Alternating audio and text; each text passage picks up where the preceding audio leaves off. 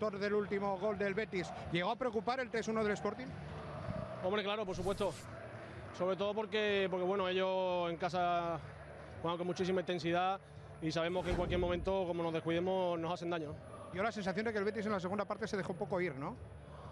Bueno, no ir, ¿no? Lo que pasa que, que bueno, ya el partido se pone en un vaivén eh, complicado, con, con, ocasiones para los dos para los dos equipos y el que las aprovechase pues eh, se iba a llevar el partido. ¿no? ¿Y ahora cuál es el deseo para la próxima eliminatoria? Bueno, la verdad que, que ahora mismo no, no, pensamos en eso, solo pensamos ya a partir de ahora mismo en el partido del sábado. ¿no? Pues suerte para el futuro. Muchas gracias.